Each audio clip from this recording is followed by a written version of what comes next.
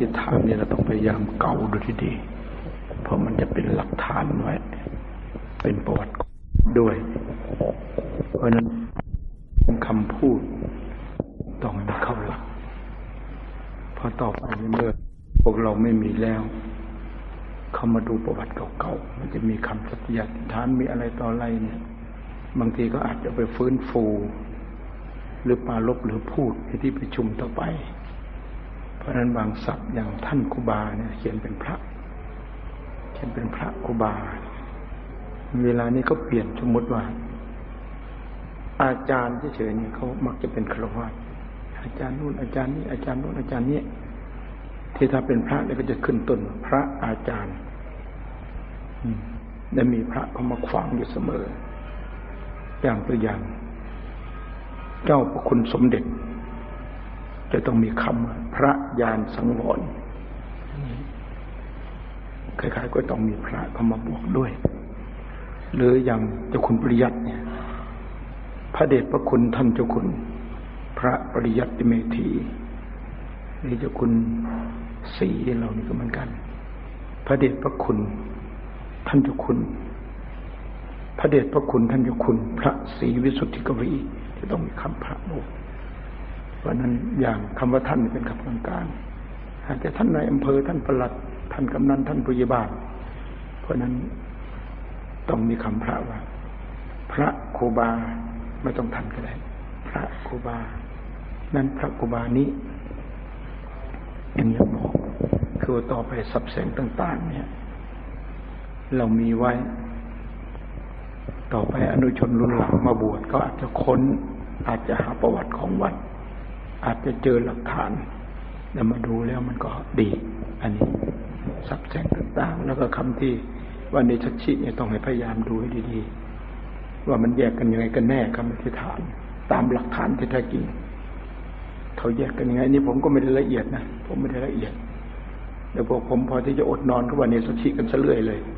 ก็เลยไม่ทราบว่ามันเป็นกลางวันหรือกลางคืน เออ วันนี้เราอยู่ในสัชิกันนะคืนนี้ อย่างนี้เป็นต้น ถ้าอยู่กลางคืนก็ไม่ได้ว่ากลางค่เอาเราอยู่ในสัชิกันนะ คืนนี้ก็อธิษฐานกันขึ้นมาก็สู้กัน ทั้งกลางวันกลางคืนคำเสียที่ว่าขะลงลงท้ายนั่นมันเป็นทั้งกลางวันกลางคืนนะก็ต้องดูอีกทีหนึ่งว่าเนสชิกังคะแปลว่าทั้งกลางวันกลางคืนถ้าเนสชิเฉยๆแปลว่ากลางวัน อันนี้มันมันมันยังมีปัญหาอยู่ว่า เอ๊ะเขานิยมใช้คำว่า เนสชิเนี่ย โดยมากมักจะอดนอนตอนกลางคืนกันว่าเอ้ยวันนี้เราอยู่เนสชิกันนะ อธิษฐานกันก็เอากันเพราะนั้นอันต้องเอาให้มันแน่ๆว่าสับแสงของเขาเขาแยกกันยังไงกันแน่ อันนี้คือถ้ากลางวันนี้เขาเขาไม่ค่อยวันในสจิเขามักจะใช้คำพูดว่า จะไม่จำวัดตอนกลางวัน จะไม่จำวัดตอนกลางวันตลอดไปมากอะไรอย่างนี้มักจะมีอย่างนั้น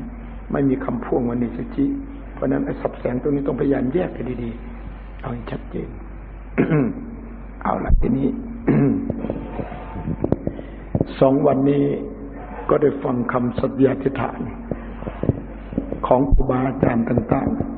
ๆ ก็รู้สึกฟังแล้วก็ซาบซึ้ง แล้วก็ปลื้มใจปิติใจ ฟังไปมันก็คิดออกในใจว่า เออ ลูกพระตถาคตนี่ เขาช่างประเสริฐเหลือหลาย พยายามหาอุบายวิธีที่จะกำจัดบาปกรรมและกิเลสมีความพยายามอยู่เสมอคำว่ากำจัดมีลักษณะยังไง คือธรรมดากิเลสและบาปเนี่ย เขาจะจูงจิตใจของเราไปในทางที่ชั่ว แตกต่างกับบุญ บุญมักจะจูงจิตใจไปในทางที่ดี อันนี้เราจะอ่านได้ยังไง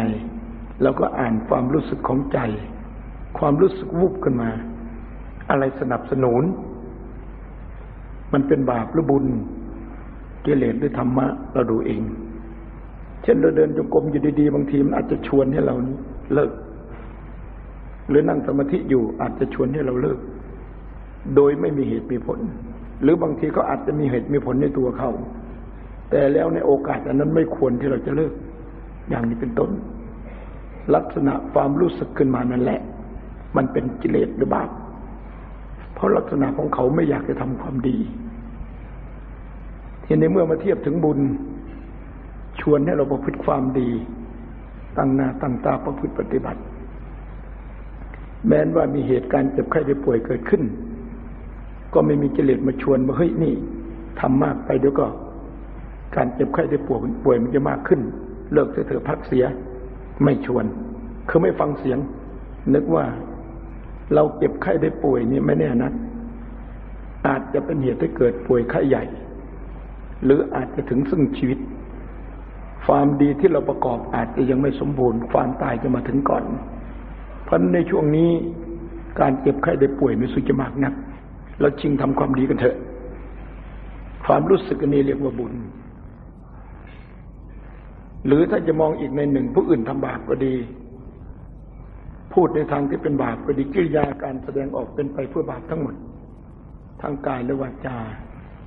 เราได้เห็นได้ยินได้ฟังนั้น ไม่ชอบใจ และตัวของเราเองจะกระทำก็มีความระอาย ไม่อยากกระทำไม่กล้าทำเป็นลักษณะของบุญเข้ามาแทรกและคัดค้านเพราะนั้นการตั้งสัญญาธิฐานนี้เหมาะมากควรมาก ราะเป็นการการกั้นกิเลสบัตกรรมทั้งหลายเหล่านั้น ไม่แทรกในสมมุติผู้ที่อธิษฐานห้าทุ่มถึงหกทุ่ม จึงจิตจำวัด บางทีอาจจะมีอะไรมาแทรกเล็กน้อย ก็อาจจะมาตัดบทตัดรอนทำลายคำอธิษฐานของตัวเอง อันนั้นเราก็จะได้นึกได้ว่าเอ๊ะนี่ เราอ่านต่อหน้าครูบาอาจารย์ พระภิกษุสงฆ์องค์สามเณรเมชี และผู้ประพฤติธรรม เราจะมาฝ่าฝืนได้ยังไงทำลายสัตยาธิฐานของตัวเองได้ยังไง อันนี้เป็นต้น มันจะได้เข้ามาฟังเป็นการต่อต้านหรือปฏิวัติกับกิเลสหรือบาปกรรมที่เข้ามาตัดบทตลอดนั้น อันนี้เป็นอุบายวิธีที่ดีมาก น่าสรรเสริญยนยอ น่าอนุโมทนาสาธุการ ทุกปีให้พวกเราตั้งสัญญาธิฐาน เพื่อจะข่ม หรือบังคับพวกกิเลสหรือบาปกรรมทั้งหลายเหล่านั้น การกระทำอย่างนี้เหมาะที่เราจะต้องยกย่องว่าเป็นลูกพระสากตเพราะพระพุทธเจ้าเป็นผู้ปฏิบัติบาปกรรมทั้งหลายและกิเลสทั้งหลายหมดจดแล้ว เป็นผู้มีจิตใจอันบริสุทธิ์ผุดผ่อง เป็นผู้มีอิสระในตัวกิเลสทั้งหลายไม่ได้มาเป็นเจ้านายของจิต เราผู้เป็นลูก เห็นคุณสมบัติอันประเสริฐอันนี้ของพ่อเรา เราอยากจะประพฤติปฏิบัติเพื่อกำจัดความชั่วร้าย เพื่อให้เกิดความหมดจดอย่างพ่อของเรา อันนี้เหมาะที่สุด และพระพุทธเจ้านั้นสอนพวกเราให้ละบาปพฤติดี ให้กำจัดเสียซึ่งกิเลสอันนี้ถ้าพวกเราไม่กระทำอย่างนี้ก็เท่ากันกับพวกเราไม่เชื่อพ่อของเราเอง พวกเรากระทำอย่างนี้เชื่อพ่อของเรา แต่ไม่มั่นใจในตัวเองในการกระทำนั้นๆ อาจจะตกอยู่ใต้อำนาจของกิเลสกิเลสอาจจะชวน หรือจูงกระตุ้น จิตของเราไปตามลูกของกิเลสได้ เพราะนั้นเราจึงได้ตั้งสัญญาธิฐานอ่านต่อหน้าทละกำนันหรือครูบาอาจารย์ พระภิกษุสงฆ์องค์สามเณรแก่ข้าวน้ำชีผู้ประพฤติธรรม หรือเพื่อนสาธมิก เพื่อเป็นการข่มใจว่าเอ๊ะนี่ เราจะมาโกหกท่านผู้มีศีลธรรมได้ยังไง เราต้องเอา อันนี้เป็นรูบายวิธีที่จะปฏิบัติกับความชั่วหรือกิเลส อันนี้เป็นอย่างนั้น เพราะนั้นน่าสรรเสริญเป็นอย่างมากที่พวกเราตั้งเสียธิฐานกันขอให้ทำกันเถอะ ให้พยายามเถอะ ผมเองอยู่กับครูบาอาจารย์ตั้งแต่ยุคสมัยกระโน้นรู้สึกทุกแห่ง เท่าที่ผมไปจำพรรษา ตั้งแต่เป็นสามเณรมาจนกระทั่งเป็นพระหนุ่ม จนกระทั่งมาเป็นพระแก่ อันนี้แหละครับ ก็เห็นอยู่ทุกหนทุกแห่ง ยิ่งครูบาอาจารย์ ใหญ่ ๆ เช่นอย่างหลวงปู่มั่นพุทธเทระเนี่ย ยิ่งมีความพยายามอธิษฐานกันมากกว่านี้มากเท่านัก หลายสิ่งหลายอย่างละเอียดละออทีท่วน อุ้ย อธิษฐานกันมาก แต่แล้วองค์เนี่ยปาก็เป็นสิบสิบกว่าข้อครับ สุดแล้วจะสันออกมาไอ้สิ่งใดที่เรามองเห็นว่ามันไม่ดีไม่ควรคมมาเลย เขียนออกมาเลย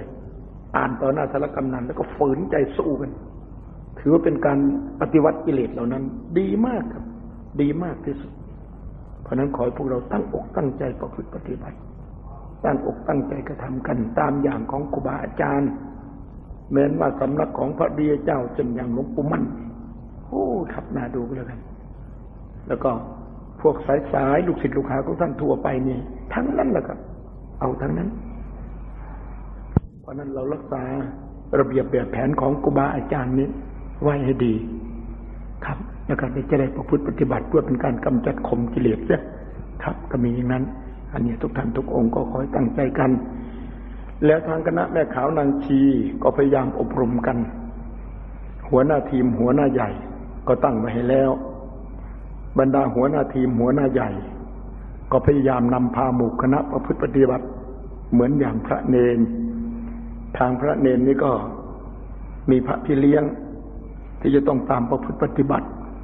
นำพาหมู่คณะจะหานโยบายวิธีจูงใจหมู่คณะ แล้วก็สอนปฏิปทาข้อปฏิบัติเบื้องต้น ให้กับหมู่คณะผู้บวชใหม่ที่ยังไม่เข้าใจ เพราะนั้นทางคณะแม่ขาวนางฉีก็เช่นกัน หัวหน้ามีอยู่แล้ว ก็พยายามพาหมู่คณะที่จะอดนอนกัน อาจจะเป็นห้าทุ่มหรือเที่ยงคืน ส่วนสลาหลังใหญ่นั้น ก็ไม่ค่อยมีใครจะไปพักแล้วตอนนี้เป็นโอกาสอันดี ทั้งข้างล่างและข้างบน ควรที่จะรวมตัวกันประพฤติปฏิบัตินั่งบ้าง เดินบ้างยืนบ้าง สุดแท้แต่เราจะทำกัน จนกระทั่งได้กำหนดเวลาแล้วเราก็เลิกกัน ไปพักกัน ถ้าท่านผู้ใดมีกำลังน้อย ไม่พอที่จะทุ่มเทมากนักให้เอาพอประมาณพอประมาณ ไม่เอาเสียเลยมันก็ไม่ดี ให้พยายามเอาพอประมาณ แล้วก็ตั้งหน้าตั้งตาปฏิบัติกัน แล้วก็ชวนกันแต่ในทางที่ดี สิ่งที่ชั่วอย่าไปชวน ให้ชวนกันแต่เพราะสิ่งที่ดี ให้รักกันนับถือกันเพราะพวกเราจากบ้านจากช่องมา จากความเป็นฆราวาสมาก็เพื่อต้องการความดี เจตนาเบื้องต้นถูกต้องทำกลางที่สุดก็ต้องถูกต้องหมด อย่ามาสร้างบาปอย่ามาสร้างกรรม อย่ามาสร้างความแตกแยกสามัคคี ให้เป็นน้ำหนึ่งใจเดียวกัน ให้เป็นอันหนึ่งอันเดียวกัน ตั้งใจประพฤติปฏิบัติกัน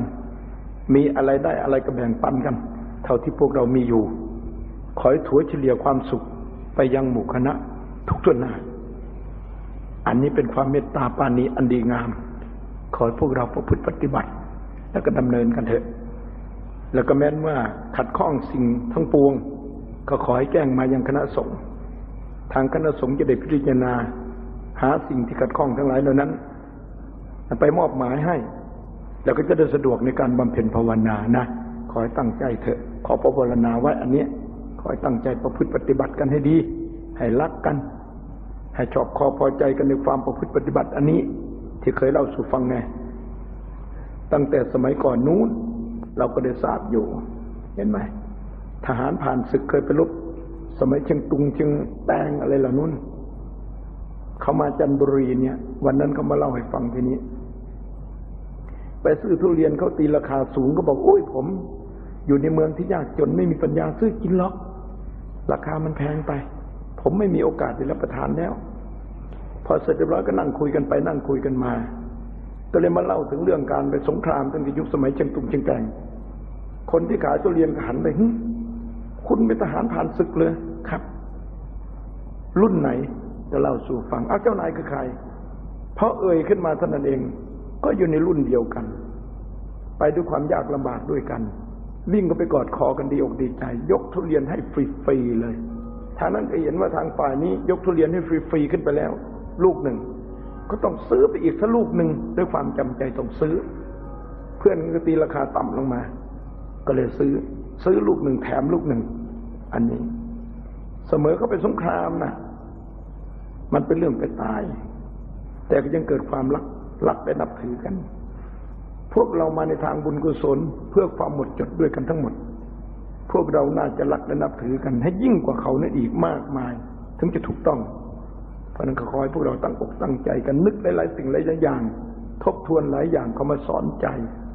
ให้ใจของเราพอใจแต่ในทางที่ดี พอใจแต่ความสมัครสมานสามัคคี ไม่พอใจในการแตกแยกเหตุในการแตกแยก พยายามหาอุบายวิธีพูดกันจูงใจกัน ให้เป็นไปในทางที่ดีที่ชอบ